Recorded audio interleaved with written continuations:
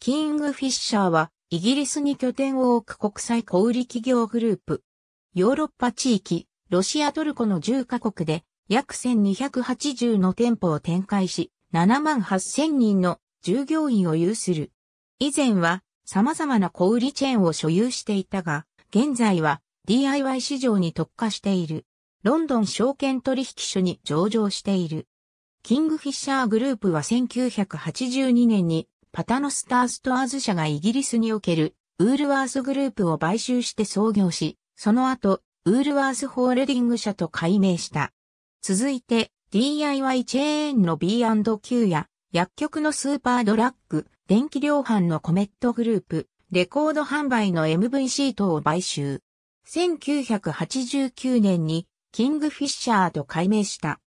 さらに、フランスの DIY チェーンのカストラマ、バット、ドイツの電気販売のベゲルトなど欧州の流通を買収し、イギリス最大の小売業チェーンに成長した。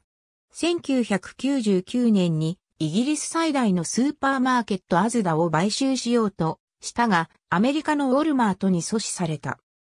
カストラマの支配権をめぐった葬儀の後、2001年には株価等の圧力もあり、ウールワースを含むグループを分割せざるを得ず、2003年には電気量販事業を分割し、今朝グループを形成した後、キングフィッシャーグループは DIY 事業に特化することとなった。現在、キングフィッシャーグループ参加の企業は、ありがとうございます。